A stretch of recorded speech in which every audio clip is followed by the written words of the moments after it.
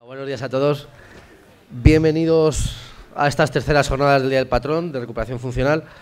Eh, estamos cogiendo la tradición estos últimos años de hacer en el Día del Patrón unas jornadas que creemos que son especiales, que las hacemos con mucho cariño para vosotros y que creemos y pretendemos que os sean de, mucho interés. ¿de acuerdo?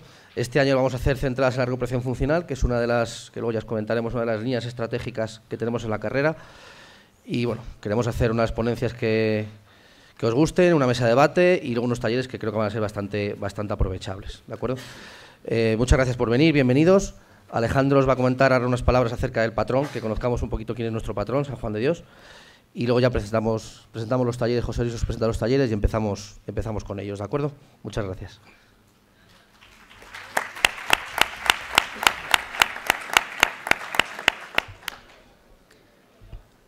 Buenos días, se oye, ¿no? Sí. Eh, bueno, parece sabotaje porque casi no lo puedo leer, pero así es más corto, ¿no? Eh, estimado señor director, Renundo Padre Justo, estimados invitados, colegas presentes y futuros, y queridos todos. He tenido el honor de ser invitado por Pablo y compañía a pronunciar unas palabras en este día en el que se celebran al tiempo unas jornadas sobre recuperación funcional y el patrón de la fisioterapia. Por lo tanto, me dijeron que tenía que hablar del patrón y que si quería que hablase de recuperación funcional. Claro, el problema es que el experto en recuperación funcional es nuestro querido director que está ahí sentado. Yo solo estoy deseando que algún día se abra esa clínica universitaria UFV para poder trabajar a su lado codo a codo y así me deja absorber su conocimiento y adquirirlo. O bien que monte un máster de recuperación funcional y así todos nos apuntamos y aprendemos con él, ¿no? que es lo suyo. El caso es que, dado que no soy el más indicado para hablaros de recuperación funcional, tenéis que conformaros con que os hable del patrón, San Juan de Dios. Nuestro patrono, nuestro patrono fue un hombre admirable, un modelo a imitar, y para muchas personas lo es. Pero yo no quiero ser como San Juan de Dios. ¿Por qué? Bueno, ya lo contaré, pero primero es hablar del santo, que es lo que me han pedido. Nació hace 521 años. Y aunque muchos creen que nació en Portugal, según los archivos vaticanos parece que nació en España, en Toledo. Tuvo muchos oficios. Una persona muy inquieta fue pastor de ovejas, fue militar, vendedor de libros y muchas otras cosas. Se sabe de muy buena tinta que cuando conoció a otro santo, al que tampoco quiero imitar, San Juan de Ávila, se propuso como penitencia hacerse loco para adquirir rechazos y así ganar en humildad. Y aunque parezca increíble, lo hizo tan bien que lo tomaron realmente por loco y lo internaron en el Hospital Real Granadino. Casi nada. Más me sorprendió cuando me dijeron que nunca se quejó cuando le daban palizas. No sé si sabéis, pero en aquella época a los que creen que estaban locos los cuidadores les arreaban bien. Sin embargo, eso sí, cuando iban a pegar a otros enfermos, se quejaba y bastante.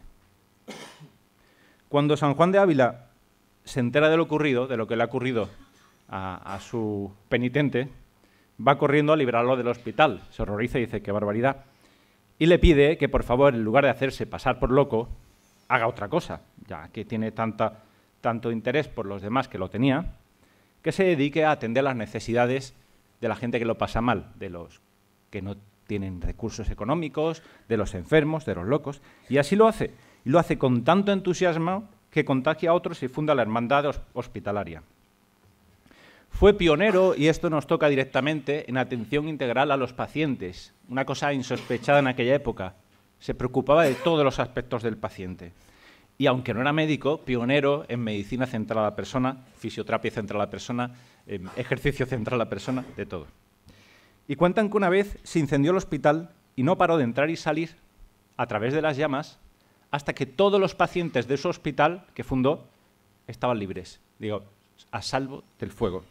Por eso, luego también dicen que es patrón de los bomberos. Tremendo. Incluso cuentan que murió en 1550 a consecuencia de una pulmonía por salvar a un joven que cayó al lado de él en un río. Como veis, la vida de nuestro patrono es increíble, generoso, pionero en asistencia sanitaria, héroe pero, aún así, sigo diciendo que no quiero ser como San Juan de Dios. Y sin embargo, lo que más quiero es ser lo que Él llegó a ser. No quiero ser como San Juan de Dios porque eso, o como San Juan de Ávila, es escoger la renuncia, dejarlo todo, no tener familia, no tener dinero y dedicarte a los enfermos. No quiero una vida centrada exclusivamente en la acción social.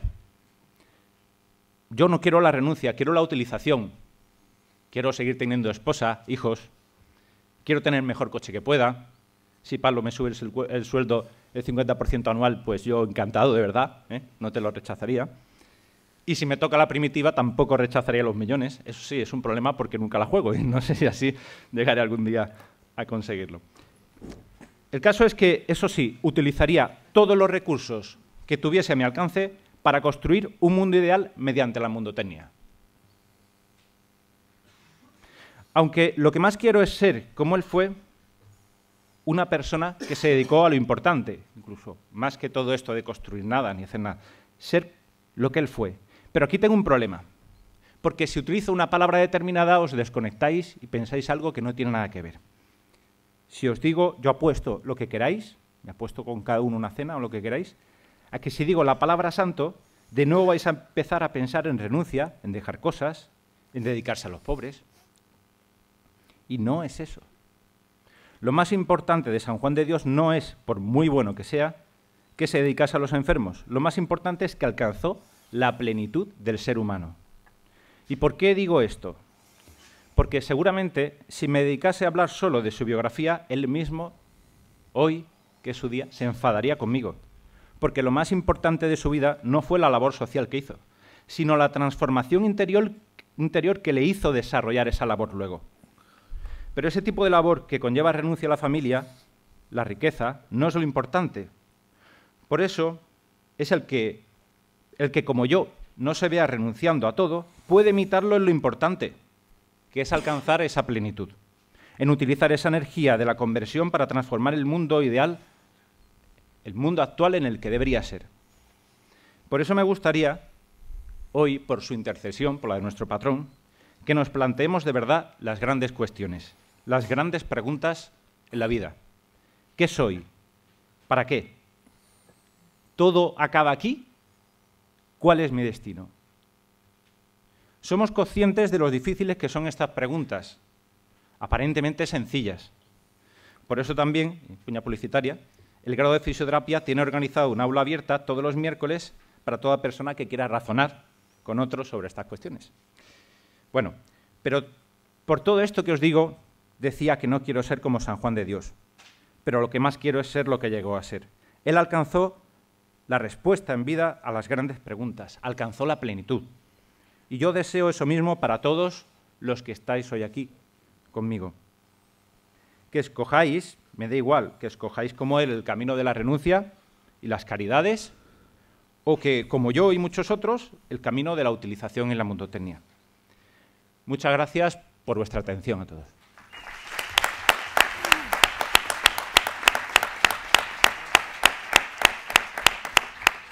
Y ahora doy paso al Padre Justo que nos quiere decir unas breves palabras. Muchas gracias. Bueno, buenos días a todos. Eh, estoy muy feliz de estar con vosotros y agradezco mucho a la carrera de fisioterapia el querer organizar este día dedicado a vuestro patrono que, como bien ha explicado eh, Alejandro, pues, pues es un modelo para vosotros. Eh, también es muy especial y, y Pablo y muchos de los profesores saben, el día de San Juan de Dios, pues yo nací el día de San Juan de Dios, es mi cumpleaños, entonces yo tengo especial devoción a San Juan de Dios. Entonces esto, esto eh, y, y, lo, y la verdad que cuando uno medita y piensa en esta figura, pues yo pienso, en primer lugar, cuando decía Alejandro que necesitamos que cada uno de nosotros haga como San Juan de Dios, una atención integral al paciente. Pero para hacer una atención integral al paciente, necesitamos que nosotros seamos integrales, en todos los aspectos. En el aspecto humano, en el aspecto espiritual, en el aspecto intelectual, en el aspecto social. Y por eso yo creo que es hermoso que celebrar juntos como familia. Y estoy impresionado y, de verdad muy contento de veros a todos vosotros aquí, con ese espíritu que se nota de la carrera, con ese espíritu de familia, de unión, que refleja pues el espíritu que vivís. Entonces yo os animo en estas sencillas palabras a que nos demos cuenta, decía, decía Alejandro, aprovechando sus palabras, decía que San Juan de Dios pues se dedicó a lo importante. Y es verdad. ¿Y qué es lo importante? ¿Qué es lo importante? A veces nos afanamos en tantas cosas y lo importante es lo que queda al final de la vida. Y hay que preguntarte qué queda al final de la vida. Y queda lo que hemos hecho por Dios y por los demás. Y eso no lo entendió San Juan de Dios.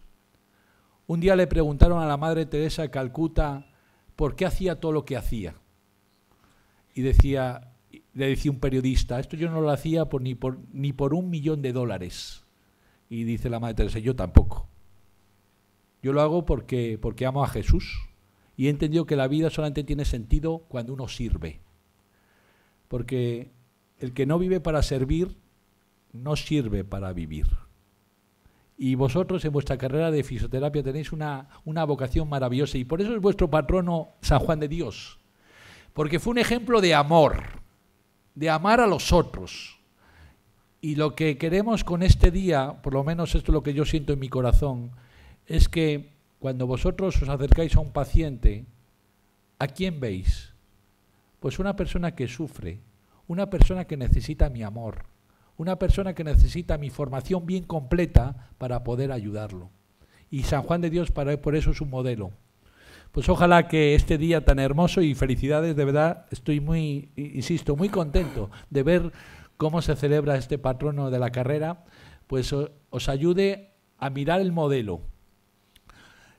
El hecho de conocer un poco más a San Juan de Dios yo creo que ayuda. Y luego sobre, todo, como él decía, no solo palabras, sino obras. Y hay muchas oportunidades de obrar haciendo el bien. Pues ojalá que este día lo celebremos así, con esa alegría y con ese gozo. Y muchísimas gracias a toda la carrera por esta hermosa fiesta de San Juan de Dios.